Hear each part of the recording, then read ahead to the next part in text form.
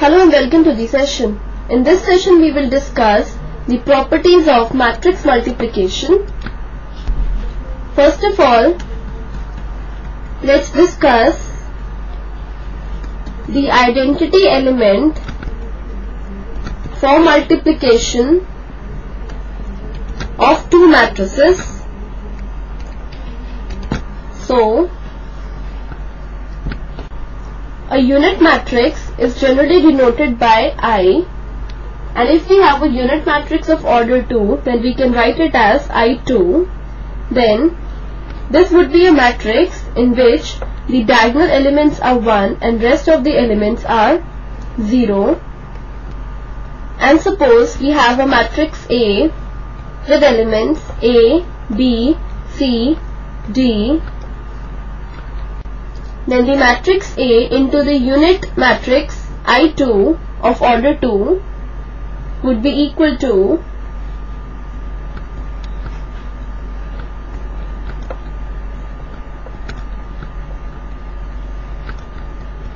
a matrix with elements A, B, C, D.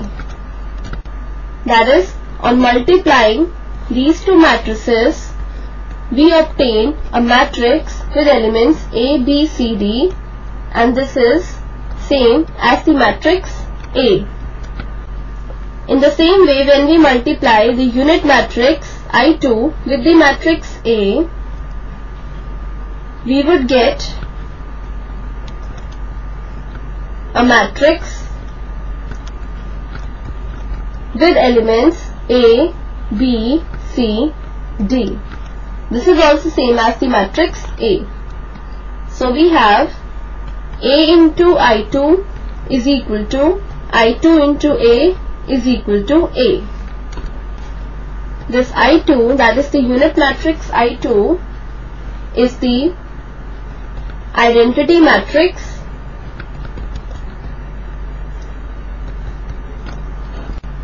or you can say that it is the identity element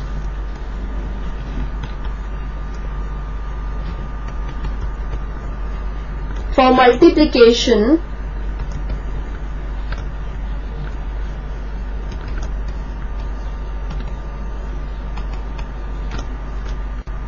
In the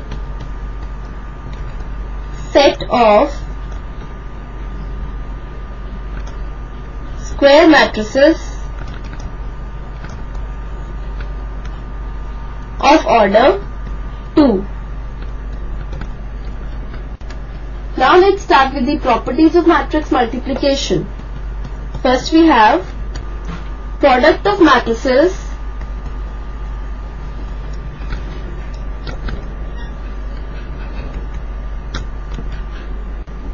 is not commutative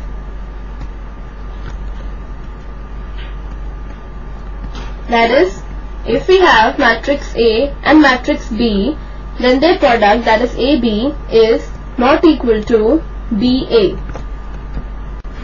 Let us now consider a matrix A with elements in the first row as 2 1 in the second row as minus 1 2 then consider a matrix B with elements in the first row as 1 5 in the second row the elements are 4 8 now AB is equal to the matrix with elements 2 1 minus 1 2 multiplied by the matrix B with elements 1 5 4 8 now on multiplying these two matrices we get a matrix with elements 6 18 7 11 let's now find out BA now BA would be equal to the matrix B with elements 1, 5, 4, 8 into the matrix A with elements 2, 1, minus 1, 2. On multiplying these two matrices, we get a matrix with elements minus 3, 11, 0, 20. Now, we observe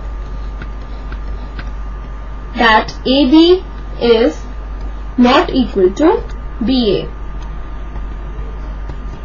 This shows that product of matrices is not commutative. Now the next property is multiplication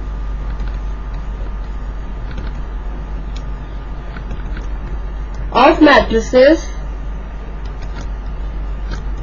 is associative. This means if we have three matrices A, B and C where AB is defined and BC is also defined then AB the whole into C is equal to A into BC the whole. Let's consider the same matrices A and B and consider a matrix C with elements 2, 4, 6, 8. Now, we have already found out AB. Now let's find out BC. Now BC is equal to the matrix B with elements 1, 5, 4, 8 into the matrix C with elements 2, 4, 6, 8. Now on multiplying these two matrices we get a matrix. Here we have 32, 44, 56, 80. Now let's find out AB the whole into C. This is equal to the matrix AB which is this that is the matrix with elements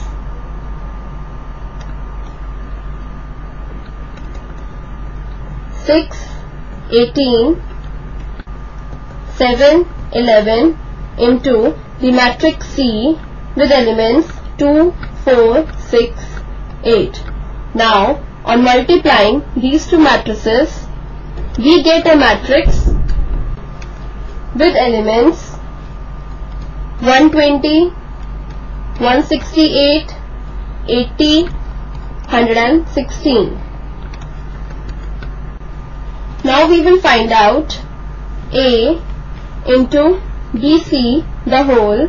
This is equal to the matrix A with elements 2, 1, minus 1, 2 into the matrix BC with elements 32, 44, 56, 80.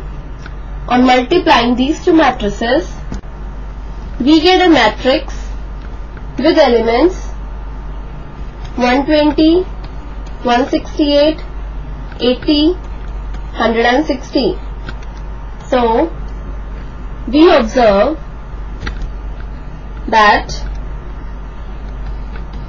these two matrices are equal that is we have AB the whole into C is equal to A into BC the whole.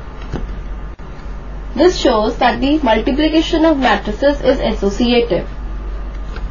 Let's now discuss the next property which says that the product of two matrices can be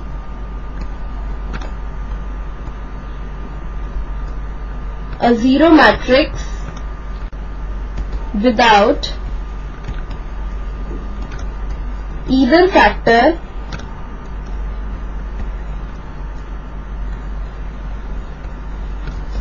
being a zero matrix. That is, if we have two matrices A and B, then AB would be equal to the zero matrix O even if we have A is not a zero matrix and B is also not a zero matrix. Consider a matrix A which is not a zero matrix with elements 2, minus 2, 4, minus 4 and also consider a matrix B which is also not a zero matrix with elements 2, 5, 2, 5. Now let's find out AB that is the product of the two matrices A and B. This would be equal to a matrix with all the elements as 0 that is we get AB as a 0 matrix and we have that A and B are not 0 matrices. Next property. According to this property we have that the cancellation law for the multiplication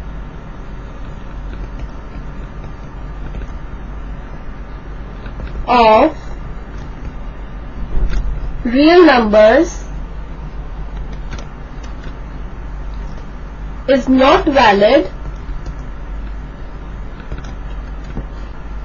for the multiplication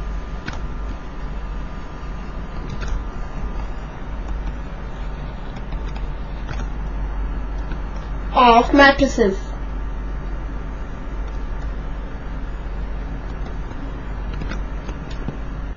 Thus, if we have AB is equal to AC, then this does not imply that B is equal to C.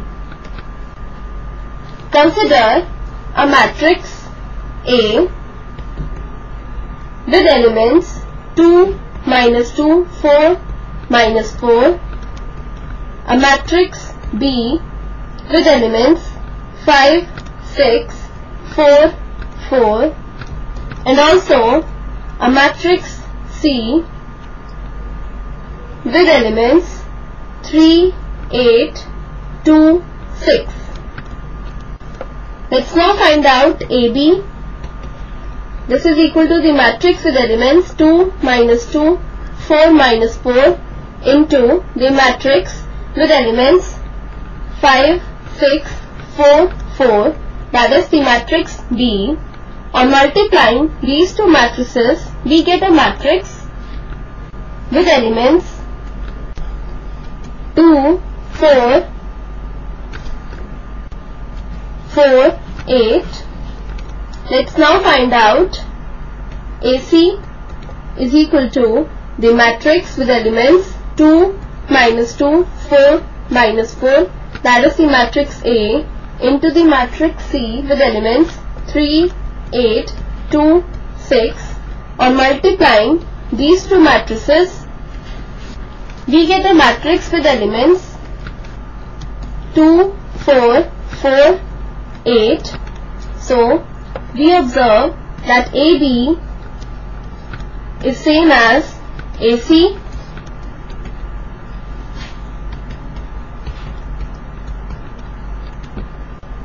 but B is not equal to C. So this does not imply that B is equal to C. That is, we cannot cancel A from these two sides. Next property, multiplication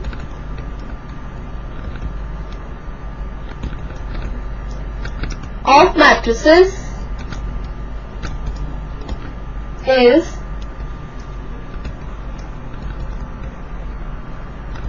distributive with respect to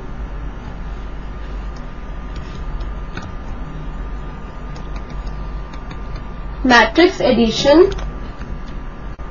That is if we have three matrices A, B and C of same order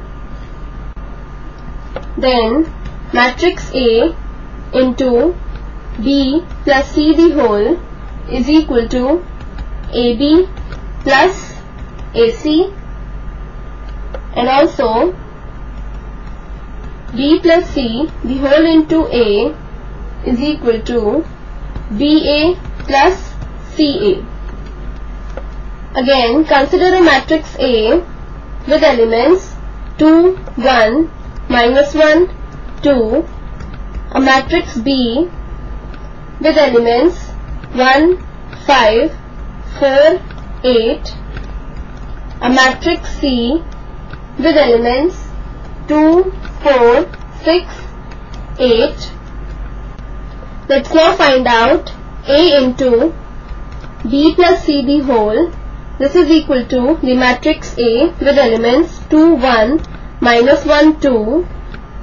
This into matrix B with elements 1, 5, 4, 8 plus the matrix C with elements 2, 4, 6, 8.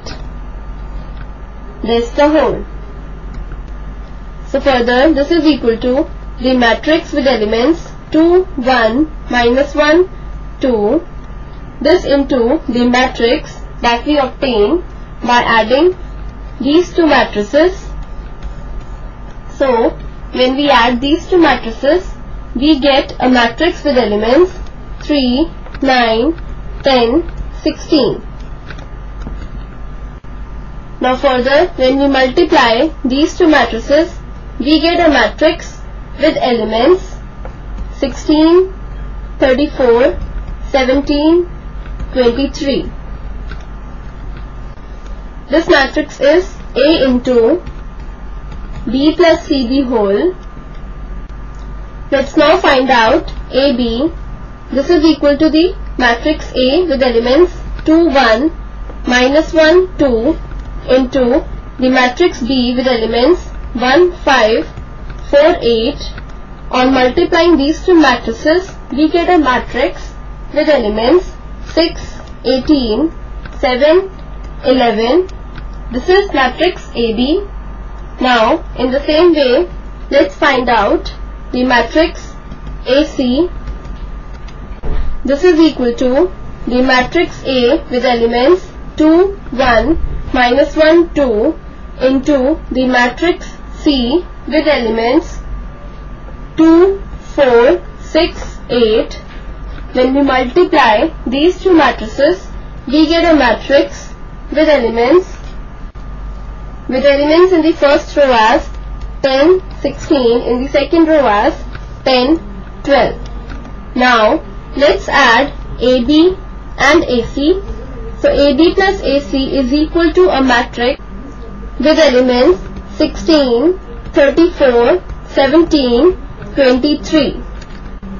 Now we observe that A into B plus CD whole is same as AB plus AC. So A into B plus C the whole is equal to AB plus AC that is the matrix multiplication is distributed with respect to matrix addition. In the same way, we can also show that A plus B the whole into the matrix C is equal to AC plus BC. So this completes the session. Hope you have understood the properties of matrix multiplication.